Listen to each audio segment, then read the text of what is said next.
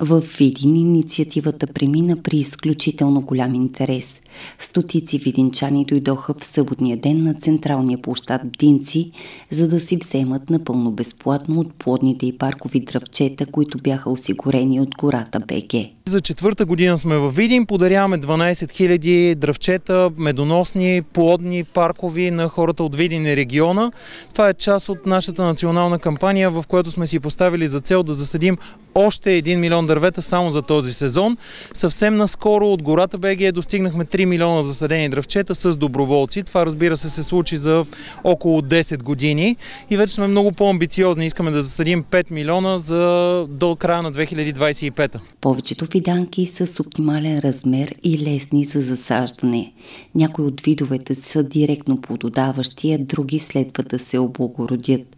Всеки желаещ имаше възможност да получи по няколко от десетки броя.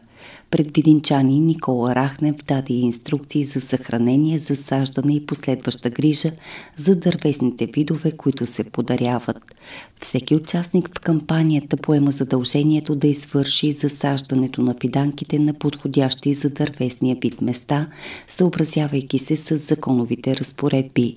Хората се ангажират и да полагат максимални грижи с цел оцеляването на колкото се може повече дръвчета – продажбата на предоставените безплатно дървесни видове пък е абсолютно недопустимо. Вярвам, че има смисъл. Когато а, човек прави нещо, в което вярва, че има смисъл, на него не му трябва специална мотивация.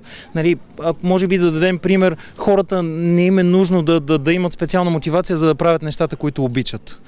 Това е, обичам това, което правя. Благодарен съм, че във Видин е пълно с добри хора, с прекрасни хора, които са дошли днес тук, искат да станат част от нещо значимо и заедно да засадим десетки хиляди дръвчета.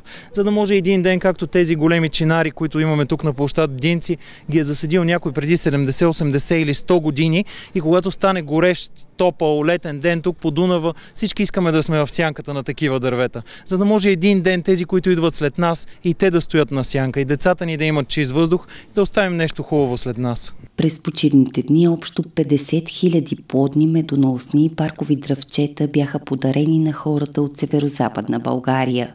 След Видин инициативата продължи в Берковица.